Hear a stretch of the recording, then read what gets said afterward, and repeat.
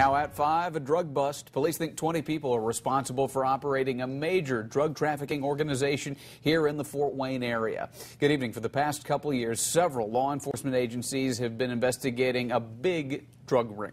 Police have arrested 18 people, and they say two are still on the loose. News Channel 15's Megan Royce has uncovered the latest, and she joins us now live from the federal courthouse downtown. Megan?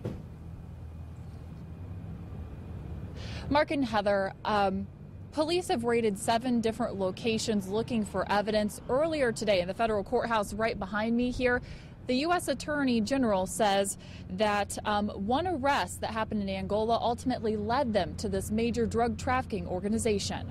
One arrest and seven wiretaps later, police found these people. A group police believe was distributing cocaine and methamphetamine in northeast Indiana. This was a classic investigation where law enforcement slowly worked its way into and up the chain of this drug trafficking organizations. Police say Armando Gonzalez Gutierrez and his brother Manuel Herrera started it.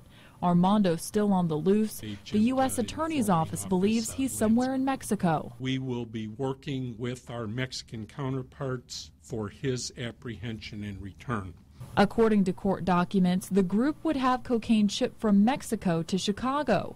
From there, they would bring it to Fort Wayne, cut it down, package, and distribute it.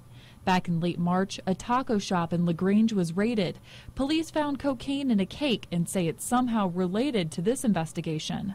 These arrests have removed a major drug trafficking organization from the streets of Fort Wayne. The U.S. Attorney's Office has a message for others buying and selling illegal drugs. We may not get you tomorrow. We may not get you next month. And quite frankly, we may not get you next year but I guarantee you it is going to happen. And when it does, I guarantee you that you will feel the full weight of a federal prosecution.